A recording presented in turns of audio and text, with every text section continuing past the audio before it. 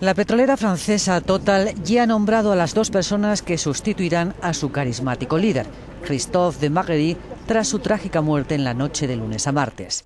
Patrick Poujanet, hasta ahora responsable de la división de refino y química, será el nuevo consejero delegado, mientras que la presidencia no ejecutiva recaerá de forma provisional en Thierry Desmarais, que ya estuvo al frente de la petrolera francesa. Los nombramientos han adoptado por unanimidad tras una reunión extraordinaria del Consejo. Con Puyané al frente de la que es hoy la cuarta mayor petrolera de Occidente, con unos beneficios superiores a 8.000 millones de euros en 2013, se cumple una vez más la tradición de una promoción interna.